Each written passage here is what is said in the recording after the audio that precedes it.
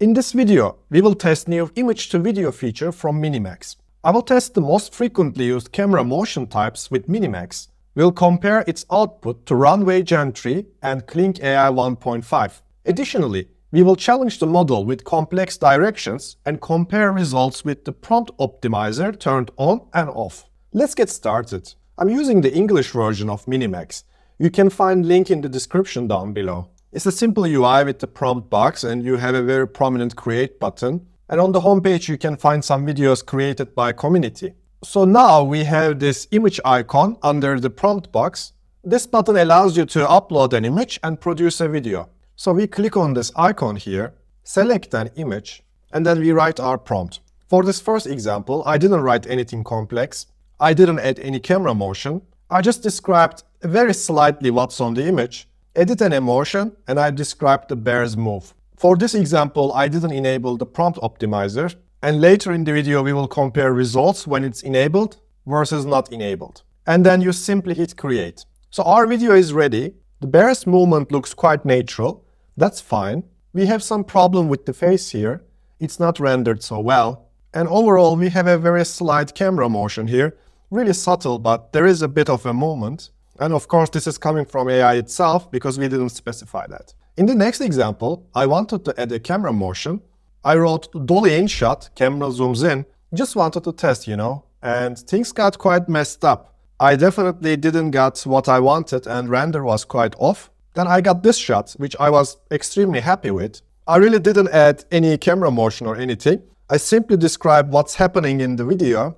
The car moves on the road and I added action shot and it did uh, quite well uh, with the consistency. I was quite happy with this result. Then I switched to this one and again I wanted to try dolly out, the camera pulls back, It is a camera motion, but then it completely didn't understand what I wanted to do. And you know, even though I didn't ask for it, dude started to walk and it turned into actually a tracking shot. It didn't quite understood what I needed with the camera motion. In the next example, I wrote handheld camera, children are watching the sea. And handheld camera is definitely not here, so it's actually quite a static camera shot. Frame almost is not moving at all.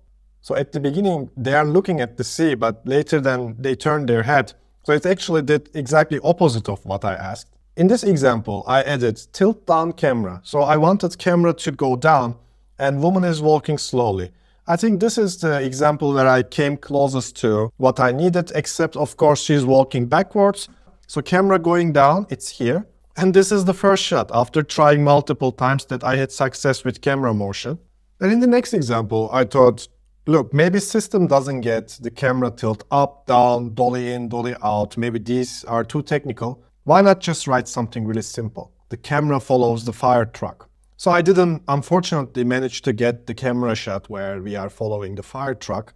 The moment of fire truck, I think it's fine and it looks quite smooth, but I didn't get what I wanted. After that, I said, okay, maybe the camera follows X format doesn't work. How about tracking shot? And with tracking shot as a prompt, I managed to get what I wanted. Of course, you will realize that there is a hand issue here where hand kind of answers to the corals, but tracking shot, okay, we can accept it. And I decided to use the prompt which worked quite well with the car shot before. And this time I wrote woman swims action shot. But to be honest, this shot was much worse than the tracking shot version. I mean, first of all, it's a very static shot in comparison to what we ask. It's not an action shot.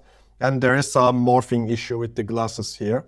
So I wasn't impressed with this one. Then I got a little bit upset and decided that, yeah, I actually just want to have a slow zoom in to the subject's face. I mean, it shouldn't be so difficult.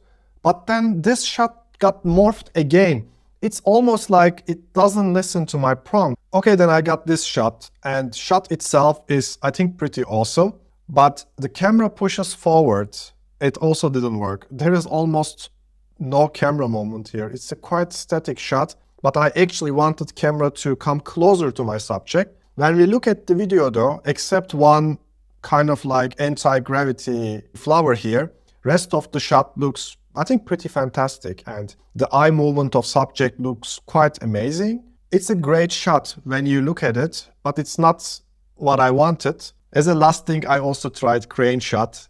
which is one of my favorite camera motions. Well, you can judge by the result. So the, the bear attacks the man. It's it looks more like they're attacking each other. It's a quite weird shot, and that's what I like so much about Minimax. It's so weird that it gives you a good laugh. So when it comes to Minimax, then I came to the conclusion that it does a little bit better when you actually describe the action and event in the scene instead of describing the cinematography or camera motion.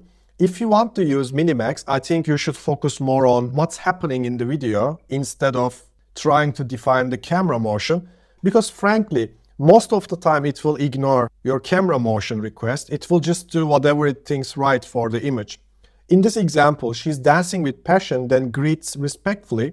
Actually, it successfully implemented consecutively what I wanted, the dancing and greeting. So that's really promising for the model. I tried another complex direction. So man aims and shoots with the pistol, then leaves the frame. So the complex directions were well received by the model, and it does especially well when you don't actually add any camera motion. However, without proper camera motions, it's a little bit difficult for me to actually work with this model because I need to be able to move the camera. In the next example, I tried a slow motion rifle shot and you can judge by the result. It doesn't have slow motion. It looked more like uh, firecrackers than actually shooting. So this didn't work out super well. So in this example, I wanted to compare Minimax output to Runway Gen 3 and Kling AI 1.5. This is the first output from Minimax. I didn't write or specify any prompt. I only gave the image to all models and wanted to see what they will do with this. I think Minimax output is pretty awesome. It looks quite good. It perfectly understood the depth. We have a subject close by and we have the waves. It understood the, the dynamic of the wave and when it hits the water, it splashes and this whole thing works in harmony. It's actually quite impressive when you think about the early times of image to video. These were quite mind-blowing things. So next output is from Runway. And Runway also did quite a good job. One thing I realized after working with Minimax, the runway output feels like a little bit more slow motion. And it's not a big problem. You can definitely speed them up in post-production. But that's the first thing I realized that it tend to be a little bit more slow looking, a little bit more slow motion than Minimax output. And this is Kling output. So I think it did also a fantastic job, looks really amazing to be honest, I think all models are quite close to each other. And it's quite impressive actually that all these models, because of probably the competition, they are getting this great. Let me know in the comments which one is your favorite. I'm reading every single comment one by one. In the next example, I want to show you impact of prompt optimizer.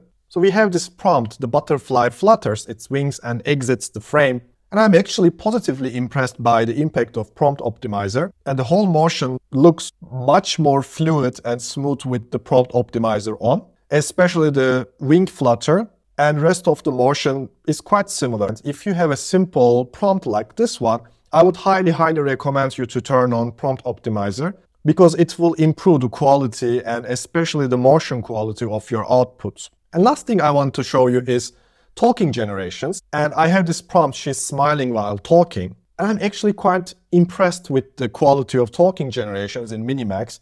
They don't have a lip syncing feature yet. I'm actually quite impressed with this shot because everything looks quite natural to me and it feels right. Well, I certainly wanted to show you more, but generating these videos already took me hours because at the moment there are quite a lot of people want to test the service and I think there is like really overload. So generations for me are taking around 10 minutes per video. It's quite long at the moment. I'm sure they will optimize it in the future. But hopefully this video was truly helpful for you to understand a little bit better how Minimax image to video works, what the quality looks like and what it can do in terms of camera motion and what it can't do. If you found it helpful, please thumbs up the video and subscribe to my channel for more in-depth tutorials. See you next time.